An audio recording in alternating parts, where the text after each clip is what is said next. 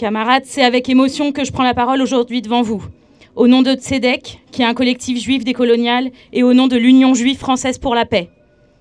Nous sommes ici pour apporter notre soutien aux étudiantes et aux étudiants palestiniens et palestiniennes, aux enseignants et enseignantes chercheuses palestiniens, palestiniennes, qui subissent de la manière la plus effroyable qu'il soit la guerre menée par l'État sioniste.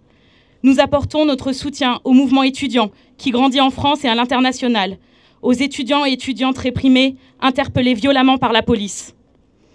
Le mouvement pour la Palestine se fait avec les étudiants et étudiantes juives et non contre elles. Nous refusons que l'histoire douloureuse de l'antisémitisme soit utilisée pour jouer avec la peur des nôtres et légitimer la répression de celles qui défendent les droits des Palestiniens et Palestiniennes. Quand la police est entrée sur le campus de Columbia, les étudiants et étudiantes juifs étaient en train de célébrer Pessah, la Pâque juive, la sortie d'Égypte, la révolte d'un peuple opprimé. C'est ça les valeurs du judaïsme. Il n'y aura pas de sécurité pour qui que ce soit, de paix réelle et durable, sans l'abandon d'une souveraineté juive entre la mer et le Jourdain, sans la réparation des torts commis à l'encontre du peuple palestinien, sans la réalisation du droit fondamental au retour des réfugiés, sans la désionisation de l'État d'Israël.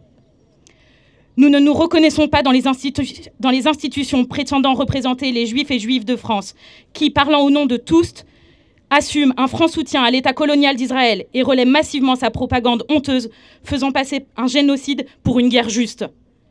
Le gouvernement israélien est en train de commettre un génocide, sous le silence complice des gouvernements occidentaux. Il faut que cela cesse.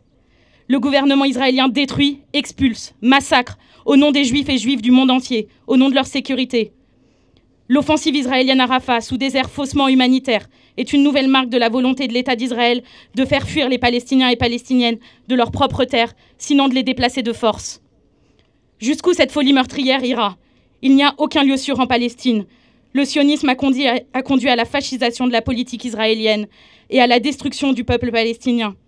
Nous refusons que ce génocide soit perpétré en notre nom.